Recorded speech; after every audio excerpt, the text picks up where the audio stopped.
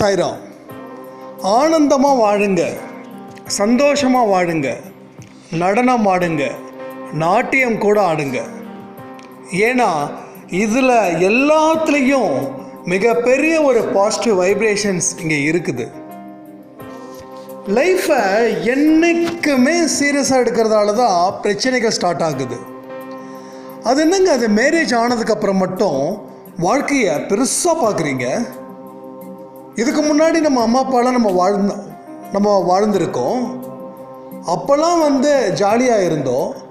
ஆனால் மேரேஜ் ஆனதுக்கப்புறம் அப்படியே வந்து பயங்கரமான ஒரு சீரியஸ்னஸ் எல்லாத்தையும் பார்த்து பேசணும். பார்த்து நடந்துக்கணும். நமக்கு பொறுப்பு இருக்குது. அப்போ இதுக்கு முன்னாடி பொறுப்பு இல்லையா? இதுக்கு முன்னாடி நம்ம வந்து பொறுப்பே இல்லாமல் வளர்ந்துட்டோமா? ஒரே விஷயந்தான் வாழ்க்கையில் என்னைக்கும் சந்தோஷமாக இருக்கணும் நிம்மதியாக இருக்கணும். எப்போ பார்த்தாலும் கவலை கவலை கவலை. வீடு வாங்கலைன்னு ஒரு கவலை கார் வாங்கலைன்னு கவலை நகை வாங்கலைன்னு கவலை. இதை விட அங்கே போகலன்னு கவலை அங்கேருந்து இங்கே வரலன்னு கவலை. ஒரு விஷயம் நல்லா புரிஞ்சுக்கோங்க. நம்ம சாயப்பா எல்லா இடத்துலையும் நம்ம கூடவே இருக்காங்க. நம்பிக்கை மட்டும் நீங்கள் வைங்க வேறு எதுவுமே வைக்க வேண்டாம். ஒரு பிஸ்னஸ் அப்படின்னா இன்வெஸ்ட்மெண்ட் இருக்கணும். எல்லாத்துக்கும் ஒரு மூலதனம் அப்படின்னு ஒன்று தேவைப்படும். ஆனால் இந்த இடத்துல ச மூலதனம் அப்படின்றது நம்பிக்கை அப்படின்ற கூடிய ஒரு விஷயம் மட்டும்தான். நம்பிக்கையை பலப்படுத்துங்க. ஃபஸ்ட்டு நம்பிக்கையை செதற விட்டீங்க அப்படின்னா வாழ்க்கையே வீண்தான் நல்ல மனுஷங்களை நல்ல பலம் வாய்ந்த மனுஷங்களை பக்கத்தில் வச்சுக்கிட்டு தோத்துட்டோம் அப்படின்னா எப்படி இருக்கும்? இத்தனை மனுஷங்களை வச்சுக்கிட்டு ஜெயிக்க முடியல அப்படின்னா நம்ம மறுபடியும் அடுத்த பிறவி இப்படி தான் பொறுப்போமா அப்படின்றது யாருக்கும் தெரியாது. பிறந்தாச்சு வாழ்ந்தாச்சு வளர்ந்தாச்சு போயாச்சு அதெல்லாம் கிடையாது. பிறந்துட்டோம் வளர்ந்துட்டோம் இனி நிற்க போகிறோம் எப்படி நிற்க போகிறோம் பெருசாக பெருமை பேசுகிற அளவுக்கு. நம்ம பெற்றவங்களை பெருமை பேசுகிற அளவுக்கு. நம்ம வழிகாட்டின சாயப்போவை பெருமை பேசுகிற அளவுக்கு. நம்ம நண்பர்கள் எல்லாரும் நம்மளை பற்றி பெருமை பேசுகிற அளவுக்கு. நம்ம தெரு வீடு எல்லாத்துலேயும் ஹை லெவலில் நம்ம நிற்போம் இது நிச்சயம் நம்மளோட வாழ்க்கையில் எல்லாருக்கும் நடக்கும். ஆனால் ஒரு விஷயம் மட்டும் இங்கே இருக்குது. எல்லாத்துக்கும் ஒன்று கொடுத்தா தான் ஒன்று வரும். அதே மாதிரி அத்தனை சாதனைகளை செய்யணும் அப்படின்னா பல சோதனைகளை கடக்கணும். எல்லாமே கடை கடக்காம நான் அங்கே தான் போய் நிற்பேன் அப்படின்னா நிற்கவே முடியாது. எந்த அளவுக்கு நீங்கள் வெற்றியை உங்கள் வாழ்க்கையில் கொண்டாட விரும்புகிறீங்களோ அந்த அளவுக்கு தோல்விகளையும் கஷ்டங்களையும் தாண்டி போகணும். இல்லை தாண்டி போகாமலே வாழ முடியுமா? அப்படின்னு நினச்சாலும் வாழ முடியாது. வாழ்ந்து தான் ஆகணும் வெற்றி பெற்று தான் ஆகணும். சில கர்மாக்களை அனுபவித்து தான் ஆகணும் சோதனைகளை கடந்து தான் ஆகணும். மாயையில் இருந்து விலகி தான் போகணும். அப்போது எல்லா விஷயத்துக்கும் மூலதனம் நம்பிக்கை. நம்மளோட வாழ்க்கை கடைசியில் ஒரு சாதனையாக மாறணும். பொறப்புன்றது அப்துல் கலாம் சொன்ன மாதிரி ஒரு சாதாரண ஒரு விஷயம். ஆனால் இறப்புன்றது சாதனையாக நில்லு அப்படின்றாரு இதுக்கு தேவை இறை நம்பிக்கை. இறை நம்பிக்கை எதுக்கு வேணும்? நம்ம ஒழுக்கத்தோடு வாழ்கிறதுக்கும் நம்ம தனி மனித ஒழுக்கமும் மற்றவங்க மேலே கூடிய காட்டக்கூடிய அன்பும் நம் நல்ல எண்ணங்களும் இது எல்லாமே நமக்கு கிடைச்சிருக்கிற மிகப்பெரிய இன்வெஸ்ட்மெண்ட் இன்வெஸ்ட்மெண்ட்டை உள்ளே கொண்டு வாங்க.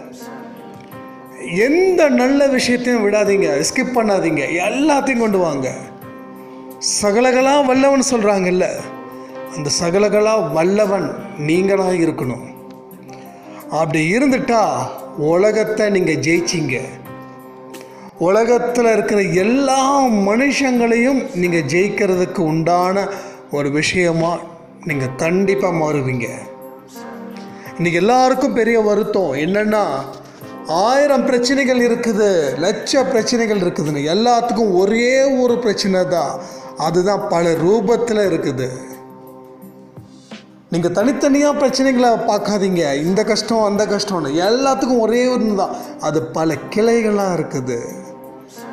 ஒரு மரம் அந்த மரம் ரோடு ஃபுல்லாக படர்ந்துருக்கும். ஆனால் அடிப்படை ஒரு மரம். அந்த மரத்தோட கிளைகள் தான் படர்ந்துருக்குது. கிளைகளை எல்லாத்தையும் மரமாக நினைக்கிற மாதிரி பிரச்சனைகளை எல்லாத்தையும் நம்ம ப்ராப்ளமாக நினைக்கிறோம். ஆனால் ஒரு ப்ராப்ளம் தான் பல கிளைகளாக இருக்குது. அதற்கு நீங்கள் என்றைக்கும் பயப்பட வேண்டிய அவசியம் இல்லவே இல்லை. நீங்கள் அடிக்கடி கேட்கலாம் என்னென்னா பயப்படக்கூடாதுன்றீங்க ஆனால் பயம் வருதுன்னு பயம் வந்தால் என்ன பயன்? பயம் வருது ஓகே. அந்த பயத்தை வச்சு நீங்கள் என்ன சாதிக்க போகிறீங்க சோகமாக இருந்து என்ன சாதிக்க போகிறீங்க கவலையாக இருந்து என்ன சாதிக்க போகிறீங்க சாயப்பவை ப்ரே பண்ணாமல் இருந்து என்ன சாதிக்க போகிறீங்க அப்போது இது எல்லாமே நீங்கள் ஃபாலோ பண்ணிங்கன்னா ஆக்சுவலாக கவலையை ஃபாலோ பண்ணுறீங்க பயத்தை ஃபாலோ பண்ணுறீங்க கோழத்தனத்தை ஃபாலோ பண்ணுறீங்க என்ன நடக்கும்? இன்னும் பெரிய தோல்விகள் தான் நடக்கும். அதனால தான் நான் திரும்ப ஒரு விஷயம் சொல்கிறேன் எவ்வளோக்கு எவ்வளோ உங்களால் சந்தோஷமாக வாழ முடியுமோ அந்த வழிகளை மட்டும் பிளான் பண்ணுங்கள் அந்த வழிகளை என்னென்ன வழிகள் அப்படின்றது உங்களுக்கு நல்லாவே தெரியும். மேரேஜ்க்கு முன்னாடி நீங்கள் எப்படி இருந்தீங்க? உடனே சொல்லக்கூடாது. இல்லை அது அப்போ இது இப்போ. எப்பயுமே நீங்கள் தான். எப்பயுமே உங்கள் மனசு தான் என்றைக்கும் சின்ன வயசில் இருந்து இந்த நிமிஷம் வரைக்கும் உங்கள் மனசின்படியும் புத்தியின்படியும் வாழுங்க. உங்கள் மனசை கழட்டி வச்சுட்டு இன்னொருத்தங்களுக்காக வாழ வேண்டிய அவசியம் இங்கே இல்லவே க இல்லை. அப்படி வாழக்கூடிய வாழ்க்கை போலியான வாழ்க்கையாக மாறிடும்ன்றதையும் பார்த்துக்கோங்க. நிறைய பேர் இன்றைக்கி போலியான வாழ்க்கையில் தான் வாழ்கிறத பெருமையாக நினைக்கிறாங்க.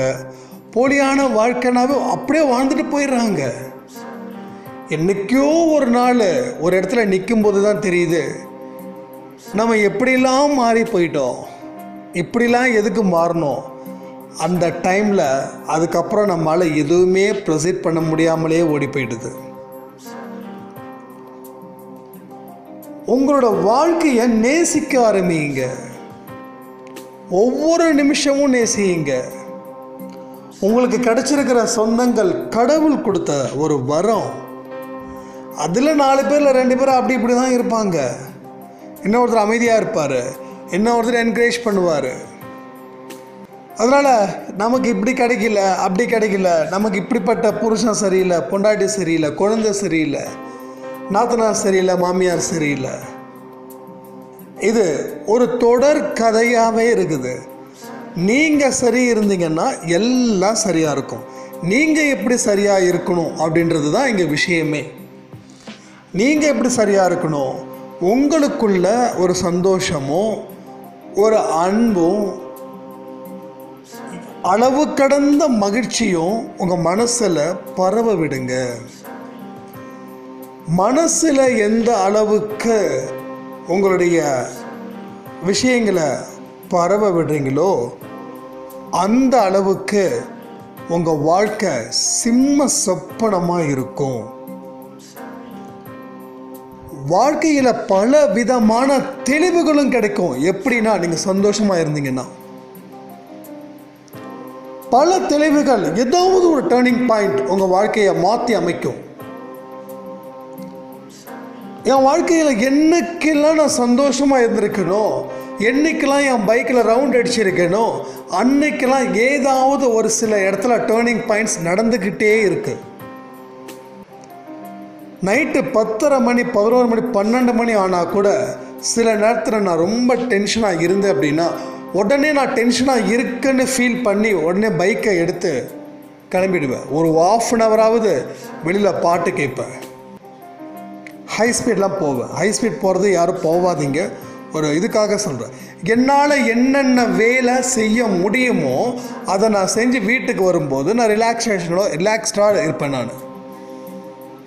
அப்போது எந்த மனுஷனும் உங்களால் என்னென்ன விஷயங்கிற உங்கள் மனசுக்கு சந்தோஷத்தை ஏற்படுத்த முடியுமோ அதை செய்யுங்க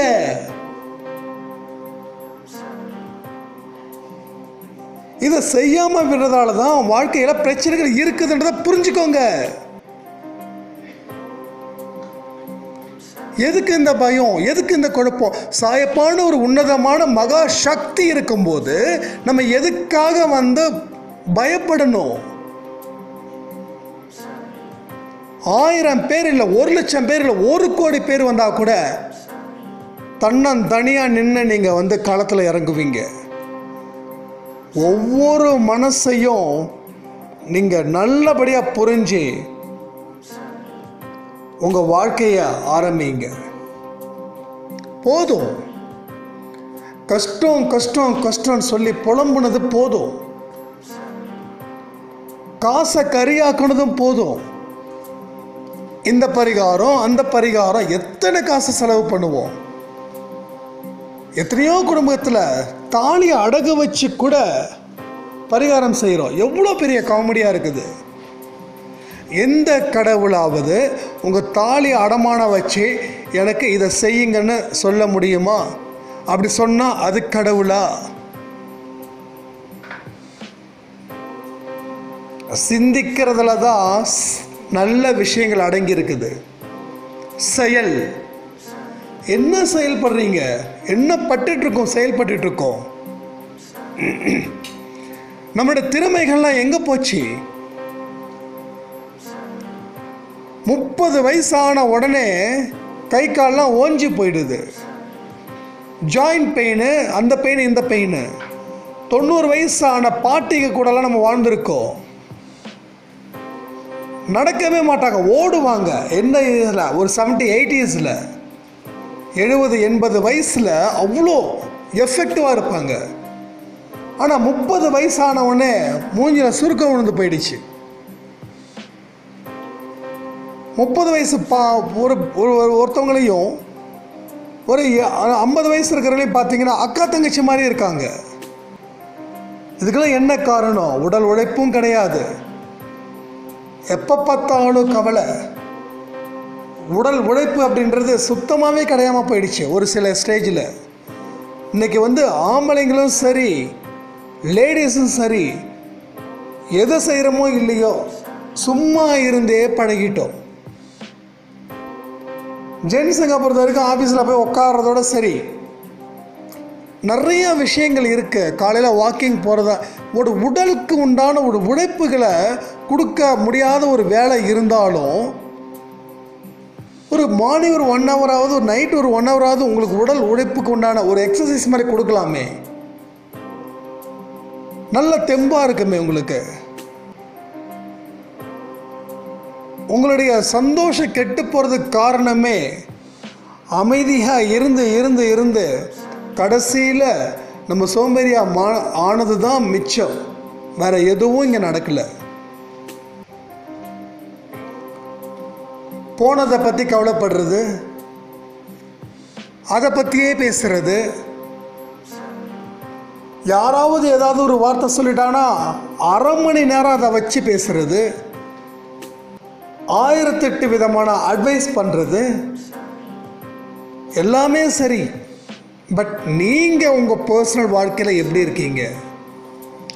யூ ஆர் பர்ஃபெக்ட்லி ஆல்ரைட் அப்படின்னா முதல்ல இந்த அட்வைஸ் பண்ணுறது சும்மா உட்காந்துட்டு இருக்கிறது இருக்கவே இருக்காது. அடுத்த நிமிஷம் குதிரை மாதிரி ஓடிக்கிட்டே இருப்பீங்க. எப்போ பார்த்தாலும் ஏதாவது ஒரு விதமான சிந்தனைகள். என்ன அது மாதிரியான சிந்தனைகள் வர போகுது உங்களுக்கு?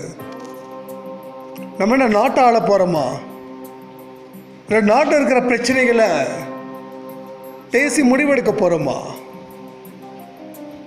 இல்லை இந்தியா பாகிஸ்தான் பிரச்சனை பற்றி பேச போகிறோமா இல்லை கொரோனாவுக்கு மருந்து கண்டுபிடிக்கலன்னு சொல்லி அதுக்கு ஏதாவது வந்து பண்ணிகிட்ருக்கோமா இருக்கோமா?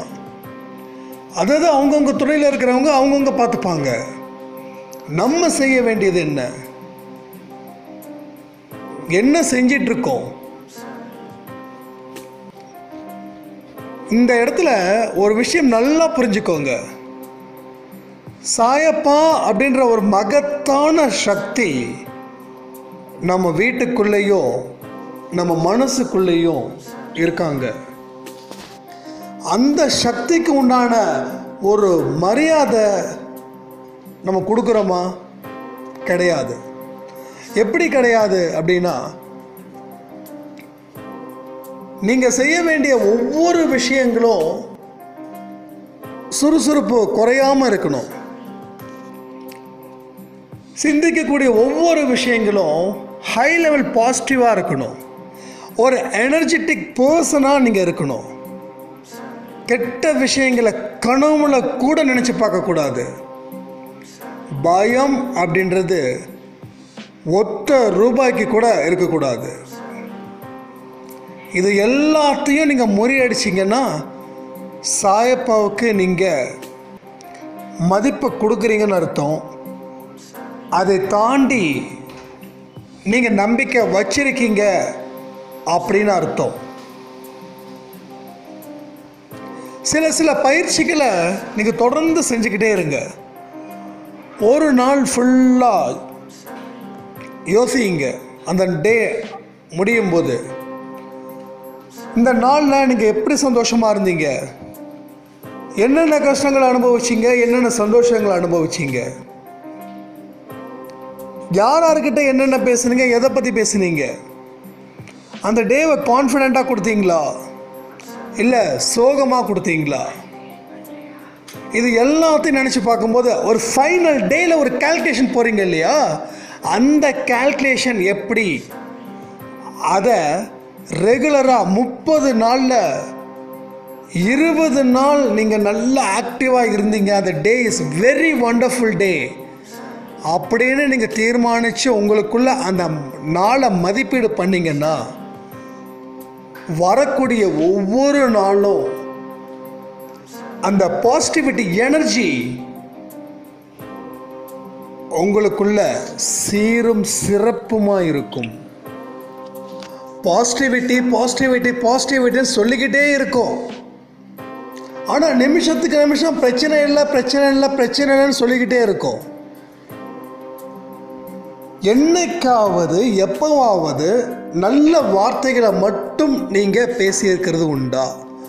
ஒரு நாள் ஃபுல்லாக சொல்கிறேன் ஒரு நாள் ஃபுல்லாக காலையில் இருந்து நைட்டு வரைக்கும் நாளைக்கே இந்த விஷயத்தை கையில் எடுங்க. நாளைக்கு இல்லை. இந்த ஆடியோ கேட்டு முடித்த உடனே உங்களுடைய ஒவ்வொரு வார்த்தைகளும் இல்லைன்னு ஒரு வார்த்தை வரக்கூடாது. பிரச்சனைன்னு சொல்லி ஒரு வார்த்தை வரக்கூடாது. ஒவ்வொரு வார்த்தைக்கும் அதுக்கு ஆப்போசிட்டாக இருக்கக்கூடிய அதாவது நெகட்டிவ்க்கு ஆப்போசிட்டாக இருக்கக்கூடிய பாசிட்டிவ் வேர்ட்ஸை சொல்லுங்கள் ஏன் நம்ம சொல்ல மாட்டேன்றோம்? நம்ம குடும்பத்தில் இருக்கிற எல்லாரும் இப்படி தான் நம்ம குடும்பத்தில் இருக்க ஒவ்வொரு மனுஷங்களும் காலையில் எழுந்திரிச்சதில் இருந்து நைட்டு வரைக்கும் இந்த மாதிரியான ஒரு நெகட்டிவ் வேர்ட்ஸை பேசி பேசி நம்மளுடைய மனசுலையும் அது ஆழமாக பதிஞ்சிடுச்சு. அதனால தான் எப்போ பார்த்தாலும் எனக்கு ஒன்றும் பிரச்சனை இல்லை. அது பிரச்சனை இல்லை. பூஜை பண்ணிடுவீங்களா? ஆ அது ஒன்றும் பிரச்சனை இல்லை. பண்ணிடலாம். பூஜை பண்ணுறதுக்கும் பிரச்சனைன்ற வார்த்தைக்கும் எதுக்கு என்ன யூஸ் பண்ணுறீங்க நல்லபடியாக செஞ்சிடலான்னு சொல்லுங்கள் எக்ஸலண்ட்டாக பண்ணலான்னு சொல்லுங்கள் சூப்பர்னு பண்ணலான்னு சொல்லுங்கள் நல்லதே நடக்கும்னு சொல்லுங்கள் நல்லபடியாக வருமானம் வரும்னு சொல்லுங்கள் எல்லாமே நல்ல வார்த்தைகளை முதல்ல தேடுங்க. நம்ம தேடுறது இல்லை. ஏன்னா நமக்கு என்ன கிடைக்குதோ அதானே கிடைக்கும். நமக்கு என்னெல்லாம் கிடைக்குது? மரணமாஸ் அப்படின்னுவாங்க. மரணன்றதே நெகட்டிவ் அப்புறம் எங்கே மாசாக இருக்க முடியும்? அப்போது நம்ம வார்த்தைகள் பாருங்கள் ஒவ்வொரு வார்த்தைகளும் ஒரு நெகட்டிவிட்டியாக இருக்குது. அன்னை தெரசாவை ஒரு இடத்துல கூப்பிட்ருக்காங்க ஒரு போராட்டத்துக்கு நீங்கள் வாங்கம்மா அப்படின்னு. முடியவே முடியாது அப்படின்னாங்களா? போராட்டத்தோட தலைப்பு வறுமை ஒழிப்பு தினம். வறுமையை ஒழிக்கிற தினமாக அதுக்கு அந்த அம்மா நான் வரலன்னு சொன்ன உடனே ஆச்சரியப்பட்டு என்னம்மா இப்படி சொல்லிட்டீங்கன்னதுக்கு? அது என்ன வறுமை? வறுமைன்றது நெகட்டிவ் வேர்ட்ஸ் அப்போ பாருங்க அந்த ஒவ்வொரு வேர்டுக்கும் எவ்வளோ ஒரு உயிர் இருக்குதுன்னு அந்த அம்மாவுக்கு தெரிஞ்சிருக்குது. அந்த அம்மாவுக்கு தெரிஞ்சதால உலகமே போற்றக்கூடிய அம்மாவாக இருக்காங்க. ஆனால் நம்ம வீட்டில் இருக்கிறவங்கள கூட நம்ம வீட்டில் இருக்கிறவங்க கூட நம்ம போற்ற முடியலன்னா நம்ம சொல்லக்கூடிய ஒவ்வொரு வார்த்தைகளும் அப்படிப்பட்ட வார்த்தைகளாக இருக்குதுன்றது மட்டும்தான். அது நானாக இருக்கலாம் நீங்களாக இருக்கலாம் மற்றவங்களாக கூட இருக்கலாம். அந்த வருமான்ற ஒரு வார்த்தை உடனே என்ன பண்ணாங்க? அதுக்குண்டான பாசிட்டிவ் வேர்ட்ஸை போட்டு ஓகேம்மா இப்போ நீங்கள் கலந்துக்கிறீங்களா? ஓகே இப்போ நான் கலந்துக்கிறேன். அப்போ என்ன வார்த்தைகளை யூஸ் பண்ணாங்கன்னு எனக்கு தெரியல. ஆனால் வறுமைக்கு ஆப்போசிட்டாக இருக்கக்கூடிய நல்ல வார்த்தைகளை யூஸ் பண்ணாங்க. விவேகானந்தர் சொன்னக்கூடிய ஒரு வார்த்தையை எடுத்து பாருங்க. எண்ணங்கள் எண்ணங்கள் தான் வார்த்தைகளாக மாறுது. என்னென்ன வார்த்தைகளை வெளியில் கொண்டு வரமோ அது எல்லாம் மனசுக்குள்ளே இருக்கிறது. மனசுக்குள்ளே இருந்ததால் தானே எல்லாத்தையும் அவுட்புட்டாக கொடுக்குறோம். மனசுக்குள்ளே இருக்காதது எப்படி அவுட்புட்டாக வெளியில் வரும்? ஒரு மனுஷன் கோபத்திலையும் விரக்தியிலையும் எப்படி இருக்கிறான்றது தான் அவனுடைய ரியாலிட்டி தனக்கு மேலே இருக்கிறவங்க கிட்ட எப்படி பேசுகிறான்றது ரியாலிட்டி இல்லை. தனக்கு கீழே இருக்கிறவனை எப்படி பேசி ஹேண்டில் பண்ணுறான்றது தான் ரியாலிட்டி அப்போ தான் அவனுடைய ரி- என்ன ரியலோ அது அப்படியே வெளியில் வருது. இங்கே எத்தனையோ மாமியார்கள் ஆடியோ கேட்கலாம் எத்தனையோ மருமகள் ஆடியோ கேட்கலாம் எத்தனையோ மருமகனும் ஆடியோ கேட்கலாம் எல்லாருக்கிட்டேயும் ஈக்குவலாக நீங்கள் பேசுகிறீங்களா பழகுறீங்களா அப்படின்றத உங்கள் மனசாட்சிக்கே நான் ஒரு கேள்வியை கேட்குறேன். நீங்கள் ஆன்சர் பண்ணுறீங்களோ பண்ணலையோ? மாமியாராக இருக்கிறவங்க மருமகளை எப்படி பார்க்குறீங்க? எப் எந்த விஷயத் எப்படி அவங்கள ஹேண்டில் பண்ணுறீங்க நீங்கள் எது மாதிரி ஹேண்டில் பண்ணுறீங்களோ அதுதான் உங்களுக்கு. அடுத்த பிறவின்னு உங்களுக்கு ஒன்று இருக்குது. அடுத்த பிறவியில் நீங்கள் யாருக்கோ ஒருத்தவங்களுக்கு மருமகளாக இருப்பீங்க. ஞாபகம் வச்சுக்கோங்க. குரானில் சொன்ன மாதிரி மரணத்தை பார்த்து அஞ்சு ஏன்னா மரணம் எப்போ வேணாலும் நடக்கலாம். இந்த நிமிஷத்தில் நீ போயிட்ட அப்படின்னா உன் பாவ புண்ணியந்தான் அடுத்த பிறவி உனக்கு வழிகாட்டும். அப்போது அந்த அளவுக்கு நம்ம பாவங்களை குறைச்சி புண்ணியம் செஞ்சிட்டோமா? புண்ணியன்றது என்ன? பாவம்ன்றது என்ன? நம்ம நினச்சிட்டு இருக்கோம். அடுத்தவனோட வாழ்க்கையை கெடுக்கணும்னு நினைக்கிறதே பாவம் நினைக்கிறதே. ஆனால் அதை தாண்டி செஞ்சுக்கிட்டும் இருக்கும். ஏன்னா நம்மளாம் ஒரு லாஜிக் பார்த்துடுறோம்ல. ஏதாவது ஒரு பிரச்சனைனா காசியில் போயிட்டு குளிச்சிட்டா பாவங்கள் போயிடும். இது இந்த மாதிரியான ஒரு விஷயங்கள் நம்ம கையில் இருக்கிறதால பாவம் பண்ணுறதுக்கு அஞ்சறதே கிடையாது. அடித்து விடு.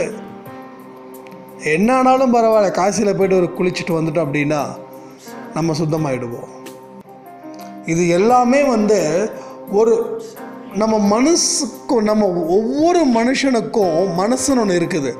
அந்த மனசுக்கு ஒரு டேர்னிங் பாயிண்ட் தான் அந்த காலத்தில் பெரியவங்க சொன்னாங்க. காசிக்கு போயிட்டு மனப்பூர்வமாக உன்னோட குறைகளை கடவுள்கிட்ட சொல்லி தலை முழுகிட்டு வந்துரு. ஆனால் நம்மால் என்ன பண்ணுவாங்க? அங்கே போய் தலை முழுகிட்டு மறுபடியும் அதே பாவங்கள் செஞ்சு மறுபடியும் அங்கே போய் கடவுள் உங்களுக்கு ஏற்ற மாதிரி ஆடுறவர் கிடையாது. அவருக்கு எல்லா விஷயங்களும் தெரியும். எல்லாமே புரியும். நீங்கள் அவருக்கு ஷார்ட்கட்டை கற்றுக் கொடுக்க நீங்கள் நினைக்கிறீங்க? ஆனால் உங்கள் ஷார்ட்கட்டை பார்த்து அவர் நகைச்சுவையோடு தான் உங்களை பார்க்குறாரு. பிரம்மாண்டமான ஒரு சக்தி. அந்த சக்தியை நீங்கள் புரிஞ்சுக்கிட்டீங்கன்னா அதே பிரம்மாண்டமாக வெற்றியை பெற்றுக்கலாம் பெற்றுக்கலாம். நம்ம என்ன பண்ணுறோம் பிரம்மாண்டத்தை தெரிஞ்சுக்கவும் இல்லை பிரம்மாண்டத்தை நோக்கி போகிறதும் கிடையாது. ஏதோ காலையில் எழுந்தோமா வேலை செஞ்சோமா நைட்டை படுத்து தூங்கணுமா அந்தந்த அன்னைக்கு அந்தந்த கதையை பேசினோமா இந்த வீட்டு கதையை பேசினோமா அந்த வீட்டு கதையை பேசினோமா நாலு பேரை திட்டினோமா படுத்து நல்லா குரட்டை விட்டு தூங்கணுமா இது இல்லை வாழ்க்கை. இது இல்லவே இல்லை. சாதிக்கணும். வாழணும் இல்லை சாதிக்கணும். ஆன்மீக வாழ்க்கையில் சாதிக்கணும். ப்ராக்டிக்கல் வாழ்க்கையில் சாதிக்கிறது ஒரு விஷயமே கிடையாது. அது ஏதோ ஒரு பாட்டுக்கு அடிச்சுட்டு வந்துடும் காற்று நம்ம பக்கமும் வீசும். எதிர்பக்கமும் வீசும். ஆனால் எப்பயுமே காற்று நம்ம பக்கம் இருக்கணும். அதுதான் ஆன்மீக காற்று ஆன்மீக தென்றல். புயலுக்கு இங்கே எல்லாரும் பயம். ஆனால் தென்றலுக்கு எல்லாரும் ரசிப்பாங்க. புயல் வந்துச்சுன்னா அடித்து பிரித்து மேய்ஞ்சிரும் ஆனால் தென்றல் என்னைக்கும் எப்பையும் இதமாக பதமாக நம்ம கூடவே இருக்கும். அந்த தென்றல் தான் கடவுளுடைய பார்வை. சாத்தானோட பார்வைன்றது வேற. சாத்தானோட பார்வை உங்கள் மேலே விழுந்துடுச்சுன்னா நீங்கள் எல்லாரையும் ஒரு வழி பண்ணுவீங்க. இன்னைக்கு மனுஷங்க கிட்ட பிடிச்சிருக்கிறது கலியுகத்தில் சாத்தானுடைய பார்வையில் மனுஷங்க போடுற ஆட்டம் அளவுக்கு அதிகமாக இருக்கிறதால தான் வருஷத்துக்கு ஒரு இயற்கை சீரழிவு இந்த உலகத்துக்கு வந்துக்கிட்டு இருக்குது. இன்றைக்கெல்லாம் தோத்துட்டா ஒத்துக்கிறதே கிடையாது. அமெரிக்கா பிரசிடென்ட் எக்ஸ் ட்ரம்ப் அவங்களுடைய விஷயத்தை பார்த்தீங்கன்னா தோத்துட்டுன்றத மனுஷன் ஒத்துக்கவே மாட்டேன்றாங்க. அது மாதிரியான ஒரு நிலைமை இன்னைக்கு இருந்துட்டு இருக்குது பதவியில் உயர்ந்த பதவி. ஆனால் மனசு எப்படி இருக்கு பாருங்க. குறுகிய மனசு. இன்னைக்கு உலகம் விரிஞ்சு இருக்குது. ஆனால் மனுஷங்களுடைய மனசு குறுகி இருக்குது. இந்த மாதிரியான மனசை வச்சு எப்படி கடவுளுடைய பாதத்துக்கு நம்மளுடைய ஆத்மாவை சரண்டர் பண்ண முடியும்? கடவுள் விட்ட வாழ்க்கையை சந்தோஷமாக ஆனந்தமாக கொண்டாடுங்க. சந்தோஷமாக ஆனந்தமாக கொண்டாட முடியலனாலும் துக்கத்தையும் கவலைகளையும் போட்டு சுமக்காதீங்க. இந்த நிமிஷம் இந்த நொடி சந்தோஷத்தை தேடுங்க. கிடைக்கும். துக்கத்தை தேடுறதால வண்டி வண்டியாக துக்கம் வந்து நிற்குது ஸோ இனிமே தேட வேண்டிய ஒரு விஷயம் சந்தோஷம். சிந்திக்க வேண்டிய ஒரு விஷயம் மகிழ்ச்சி. செயல்படக்கூடிய விஷயங்கள் ஆக்கப்பூர்வமான செயல்பாடுகள். பெரியவங்க கிட்ட நிறைய விஷயங்கள் பேசுங்க. அவங்களோட வாழ்க்கையில் இருக்கிற எல்லா அனுபவங்களையும் நோட் பண்ணுங்கள் வீட்டில் இருக்கிற பெரியவங்களை ஒதுக்கி ஒதுக்கி வைக்கிறீங்கல்ல பெருசுக்கு என்ன தெரியும்னு? பெருசுக்கு எல்லாம் தெரியும். நமக்கு என்ன தெரியும்? நமக்கு ஒன்றும் தெரியாது. எல்லாம் தெரிஞ்சிருந்தா நம்ம இந்நேரம் எங்கேயோ போயிருப்போம். எதுவுமே தெரியலன்றதால தான் இன்றைக்கி ஒரு நார்மல் லைஃப்பை கூட நம்ம லீட் பண்ணாத அளவில் வாழ்ந்துக்கிட்டு இருக்கோம். இங்கே வந்து மெஜாரிட்டிஸ் பேரை தான் நான் சொல்கிறேனே தவிர எல்லாரையும் நான் சொல்லலை. நிறைய பேர் நார்மலான வாழ்க்கையை தொலைக்கிறதுக்கு காரணம் அவங்க நல்லபடியாக வாழலைன்ற ஒரே ஒரு விஷயங்கள் மட்டும்தான். உடனே சொல்லுவோம் விதி. விதிக்கு உங்கள் வாழ்க்கையை கெடுக்கிறது தான் வேலையா? நல்லா யோசிச்சு பாருங்க. விதி வந்து கடவுள் விட்ட எழுத்து தான் தலையெடுத்ததை விதின்னு சொல்லுவோம். நீ கடைசி வரைக்கும் இப்படி தான் அழியணும்னு சொல்லி தான் விதி உங்களுக்கு சொல்லுதா? அப்போ நல்ல சக்தி என்ன பண்ண முடியும்? ஒன்றும் பண்ணாமல் அமைதியாக இருந்தோம்னு நீங்கள் நினைக்கிறீங்களா?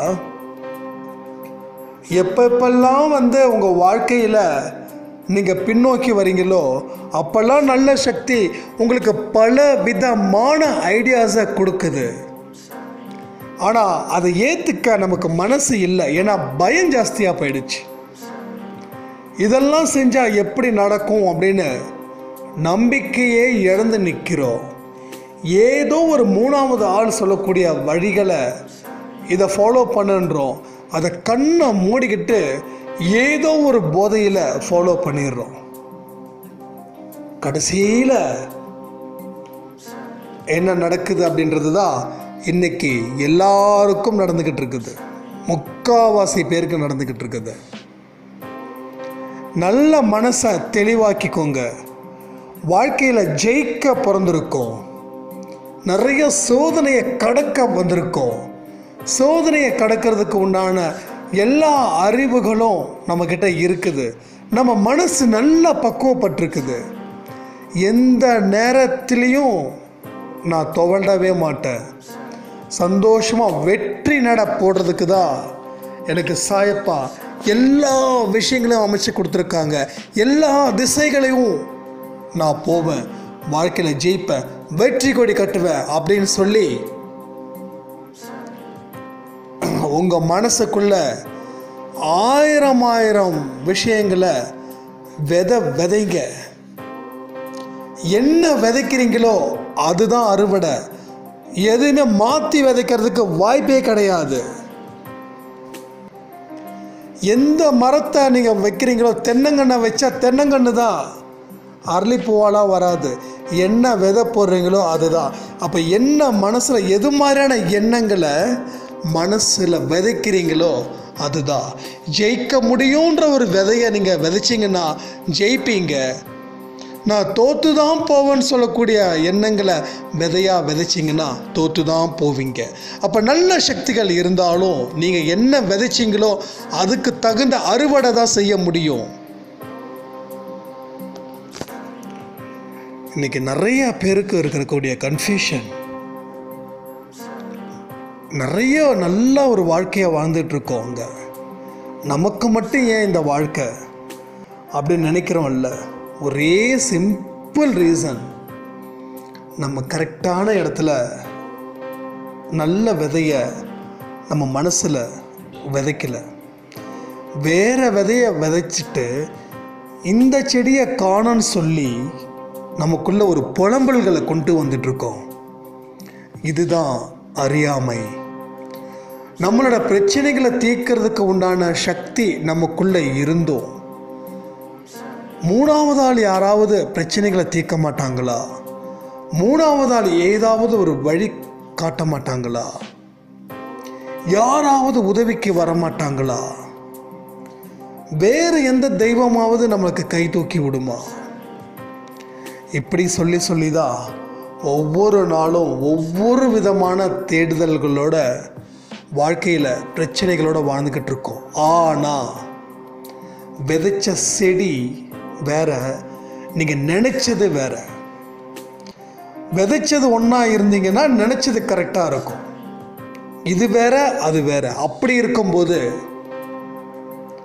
உங்களுக்கு இருக்கக்கூடிய எல்லா கன்ஃபியூஷனுக்கும் காரணம் உங்களுடைய எண்ணங்களை நீங்கள் எப்படி வச்சுருக்கீங்கன்றத வச்சு தான் உங்களுக்கு எல்லா விஷயங்களும் நடக்கும். நீங்கள் எந்த கடவுளை வேணாலும் நீங்கள் ப்ரே பண்ணுங்கள் ஆனால் நீங்கள் என்ன நினச்சிங்களோ அதை கரெக்டாக நினச்சிட்டிங்கன்னா போதும்.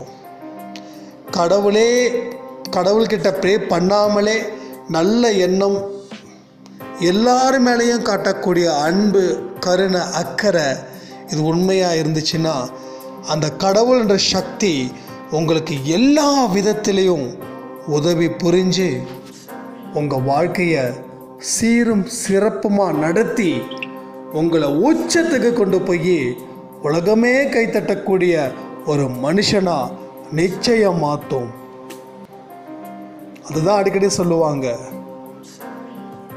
தர்மம் தலை காக்கும். தர்மம் எல்லா இடத்துலையும் தலை காக்கும். நீங்கள் என்ன செய்கிறீங்களோ அது உங்களுக்கு பல மடங்காக கொடுக்கறது தான் தர்மம். ஏழைங்களுக்கு உதவி செய்கிறது மட்டும் கிடையாது. பொருளாலையும் மனசாலையும் உழைப்பாலையும் எந்த கடமையும் எதிர்பார்க்காம நீங்கள் செஞ்சிட்டிங்கன்னா அது எந்தெந்த நேரத்தில் வேணாலும் உதவிகள் கொடுக்கும். எல்லாருக்கும் ஒரு சின்ன ஒரு விஷயத்த சொல்லி இந்த ஆடியோ நான் முடிக்கிறேன்.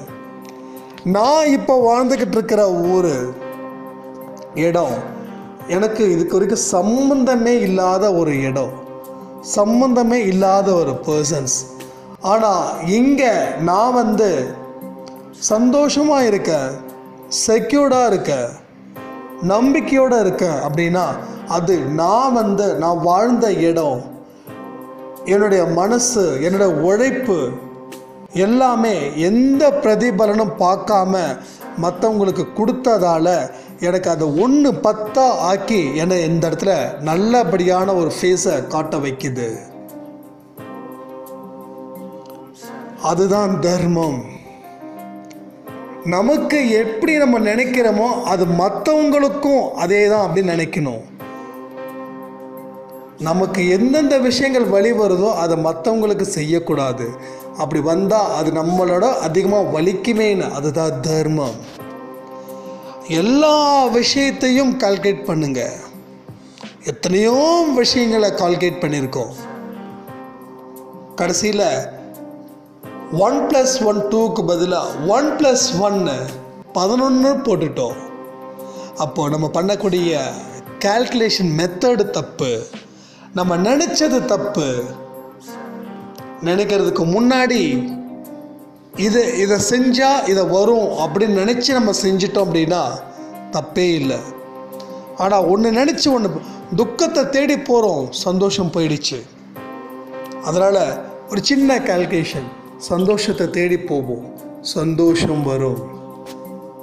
தர்மத்தை தேடி போகிறோம் எல்லா நேரத்துலையும் பல மடங்கு பெருகும். வருமானத்தை நினச்சி போகும் கடன் தொல்லை இருக்கவே இருக்காது. ஆரோக்கியத்தை தேடி போகும் நோயின்ற ஒரு வார்த்தைக்கு இடமே இருக்காது. தைரியத்தை தேடி போவோம். பயம் என்ற ஒரு அஷுரன் வரவே மாட்டான். எல்லா மனசுங்கிட்டையும் அன்பு செலுத்துவோம். போட்டி பொறாமை கோபம் அகங்காரம் ஆணவம் திமிர் எதுவுமே இருக்காது. நீங்கள் சுத்தமாக ஆறுவீங்க. சுத்தமாக மாறுவீங்க. நல்ல குழந்தையாக மாறி சாயப்பாவுக்கு பெருமை சேர்ப்பீங்க. உங்கள் குடும்பத்துக்கும் பெருமை சேர்ப்பீங்க. நம்பிக்கையோடு வாழலாம். நம்மளோட வாழ்க்கை பெரிய சாதனை செய்கிறதுக்கு உண்டான ஒரு இடமா சாயப்பா உங்களுக்கு அமைச்சு கொடுக்கறது உறுதின்னு சொல்லி இந்த ஆடியோ முடிக்கிறேன். ஜாய் சைரா.